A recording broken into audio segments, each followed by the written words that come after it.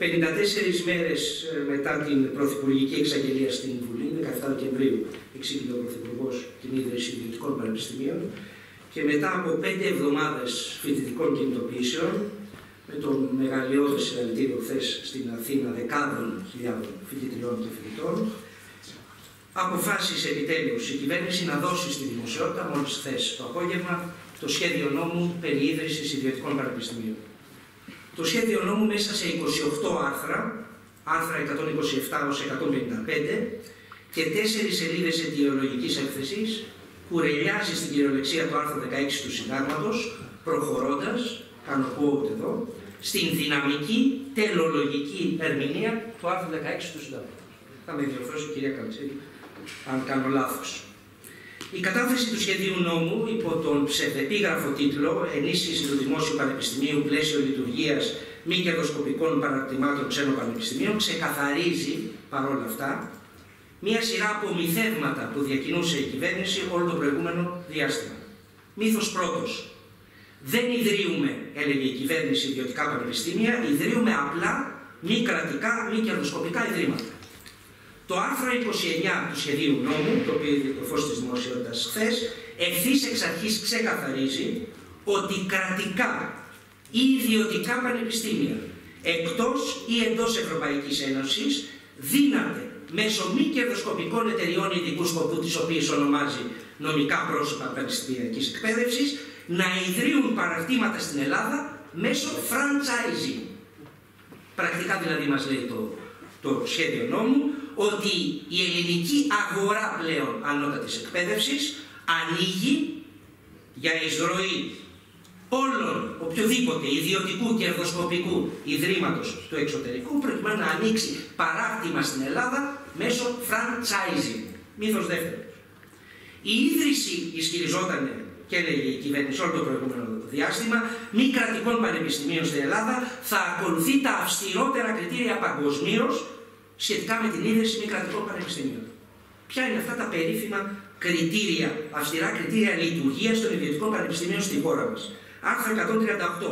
Να λειτουργεί κάθε ιδιωτικό πανεπιστήμιο τρεις σχολές με ένα προπτυχιακό πρόγραμμα κάθε μία. Δεύτερο κριτήριο. Τα προπτυχιακά προγράμματά τους να είναι εγκεκριμένα από το Μητρικό Πανεπιστήμιο. Γιάννης Κερνά, Γιάννης Πίνη. Άρθρο 138. Να διαθέτουν αυτοτελές κτίριο λειτουργίας με βιβλιοθήκη, τουαλέτες και πυροπροστασία, άρθρο 138, να απασχολούν κατελάχιστον 30 μέλη ΔΕΠ πλήρους, απο, πλήρους απασχόλησης, εκ των οποίων το 80% αυτών των μελών ΔΕΠ να έχουν διδακτορικό δίπλωμα συναφές, αλλά όχι ίδιο με το αντικείμενο που διδάσκουν, άρθρο 151, τα δε κριτήρια επιλογής και εξέλιξης των μελών ΔΕΠ των ιδιωτικών πανεπιστημίων θα ορίζονται από το Μητρικό Ίδρυμα, πάλι Γιάννης Κερνά, Γιάννης Σπίδη, άρθρο 151.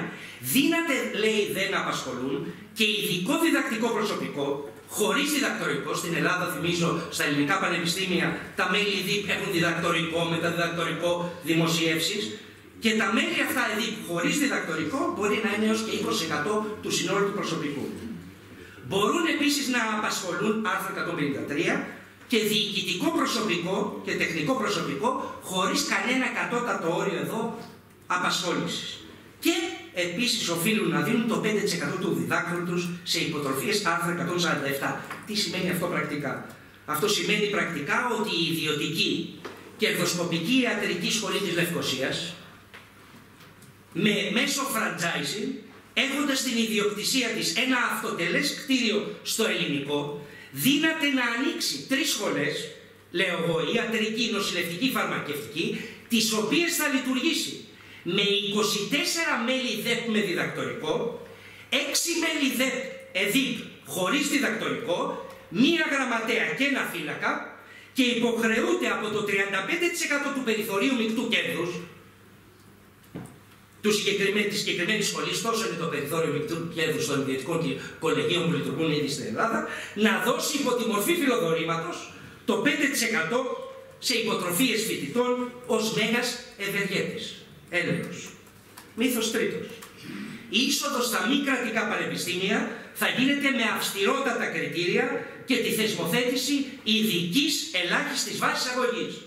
Άρθρο 146 ξεκαθαρίζει ότι δικαίωμα εγγραφής στα ιδιωτικά παρατήματα των ξένων πανεπιστημίων μέσω franchise στην Ελλάδα έχουν φοιτητές με ελάχιστη βάση εισαγωγής η οποία προκύπτει από το μικρότερο μέσο όρο των βαθμολογιών του συνόλου των εξεταζομένων μαθημάτων αναεξεταζόμενο πεδίο πολλαπλασιαζόμενο με το συντελεστή 0,8 να το διευκρινίσω. Η ιατρική Θεσσαλονίκης είχε το 2023 ελάχιστη βάση εισαγωγής στα χαρτιά, δεν εφαρμόστηκε ποτέ, 13,97 και πραγματική βάση εισαγωγής λόγω του αυξημένου ανταγωνισμού και της αυξημένης ζήτησης 18.800 μόρια. Δηλαδή έπρεπε να πιάσει 18,8 κατά μέσο όρο στα τέσσερα εξεταζόμενα μαθήματα.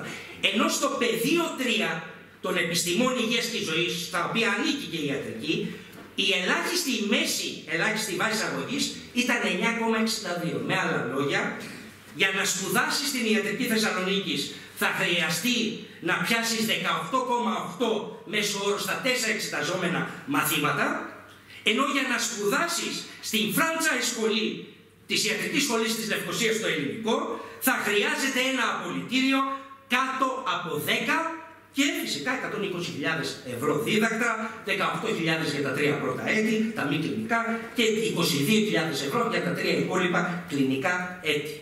Αυτή είναι η πραγματικότητα έτσι όπως προκύπτει από το νομοσχέδιο το οποίο κατατέθηκε. Επί πέντε εβδομάδες, και κλείνω με αυτό, η κυβέρνηση χρησιμοποίησε όλους τους πιθανούς τρόπους για να κάμψει τις αντιδράσεις της πανεπιστημιακής κοινότητας. Στην αρχή επιχείρησε δια της μηντιακής εξαφάνισης, συγχωρήστε με γι' αυτό, να αγνοήσει τις αντιδράσεις των φοιτητών και των εκπαιδευτικών. Εν συνεχεία επιχείρησε να τις λιδωρήσει ως περιθωριακές αντιδράσεις θορυβοδών μειοψηφιών. Οι εικόνες βέβαια των γεμάτων αμφιθεάτρων στο Πανεπιστήμιο Πειραιά, στο ΠΑΜΑΚ, στο MEP, στο Πάντιο, απαξίωσαν πλήρως αυτό το σχετικό ισχυρισμό και το επιχείρημα της κυβέρνησης. Τώρα βρισκόμαστε στην τρίτη φάση του σχεδίου υπονόμευσης του πανεπιστημιακού κινήματος, το οποίο περιλαμβάνει την καταστολή με την είσοδο των ΜΑΤ στη νομική σχολή του Δημοκρίτου Πανεπιστημίου Θράκης και φυσικά την εργαλειοποίηση της εξεταστικής. Σχετικά με το τελευταίο, οφείλουμε να σημειώσουμε και να σας ενημερώσουμε ότι δεν υπάρχει πανεπιστημιακός δάσκαλος ο οποίος να μην νιώθει βαθύτατα προσβεβλημένος από την παραβίαση της ακαδημαϊκής του ελευθερίας και ακαδημαϊκής του αυτονομίας με το εντέλεστε περί διενέργειας διαδικτυακών εξετάσεων.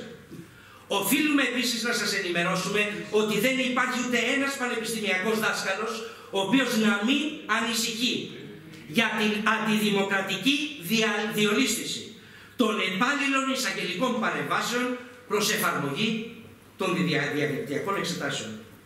Το πανεπιστημιακό κίνημα με ομόφωνες αποφάσεις του, ομόφωνη απόσπαση σας θυμίζω του συνεδρίου της ΠΟΣΔΕΠ, ομόφωνη απόφαση του Διοικητικού Συμβουλίου του ΕΣΔΕ, ομόφωνη απόφαση της Γενικής Συνέλευσης του ΕΣΔΕ προχθές, ξεκαθαρίζει ότι δεν φοβάται και δεν πρόκειται να υποκύψει στις υποδείξεις της κυβέρνησης. Οι εξετάσεις των φοιτητών θα γίνουν με όρους ακαδημαϊκής αξιοπιστίας, με διασφάλιση του αδιάβλητού τους, με σεβασμό στην ακαδημαϊκή αυτονομία των διδασκόντων, σε συνεννόηση με τους φοιτητές μας και με μετάθεσή τους τελικά όταν οι συνθήκες το επιτρέψουν. Καλούμε και από αυτό το βήμα την κυβέρνηση να μην προχωρήσει στην κατάθεση του νομοσχεδίου.